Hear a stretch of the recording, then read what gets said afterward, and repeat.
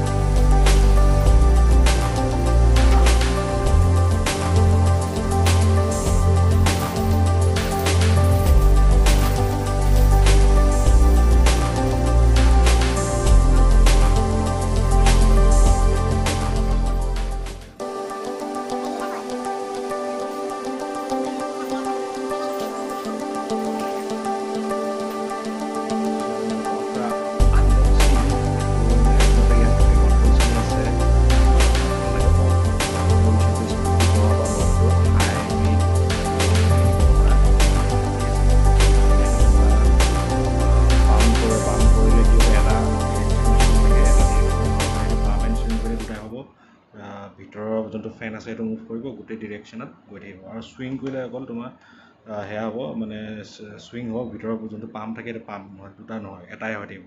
ফেনৰ নিচিনাকৈ ইউজ কৰিব পাৰিবা। চ' এইটোৱে আছিলে এয়াৰ কুলাৰটো আৰু ইয়াৰ এইটো হ'ল আইচ চেম্বাৰ ইয়াতে পানীটো ভৰাব লাগে আৰু ইয়াতে আইচটো ভৰাব পাৰি। চ' এইখিনি এইটোৱে আছিলে এয়াৰ কুলাৰটো ইমানেই অৰিয়েণ্টৰ হয়। আৰু নৰ্মেলি দাম হ'ল চাৰে ছয় হেজাৰ নে কিমান দোকানত। কিন্তু ফ্লিপকাৰ্টৰ চেলত স্পেচিয়েল চেল চলি আছিলে four thousand three hundred ninety নাইনত মই পালোঁ। চ' ইউজ কৰি ভাল লাগিছে। বতাহটো খুব ঠাণ্ডা। খালি ইয়াতে আইচ দিলে আৰু বেছি ঠাণ্ডা হ'ব।